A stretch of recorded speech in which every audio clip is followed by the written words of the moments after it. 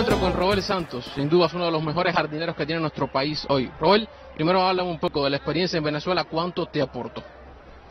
Bueno, de todo un saludo para todos los televidentes, todos los fanáticos que siguen el béisbol.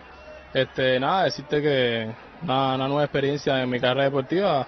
Siempre uno que va a una liga diferente, siempre aprende algo, algo diferente y, siempre es bueno este, participar en esa liga, este, niveles diferentes, la cultura diferente, aunque, hablamos, aunque hablemos el mismo idioma.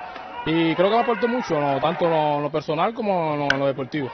Ahora llegas a esta postemporada una vez más con tus alazanes. ¿Cómo ves al equipo? Tú eres uno de los peloteros más experimentados para seguir combatiendo en esta postemporada. No, yo creo que el equipo lo veo, bueno, bastante bien.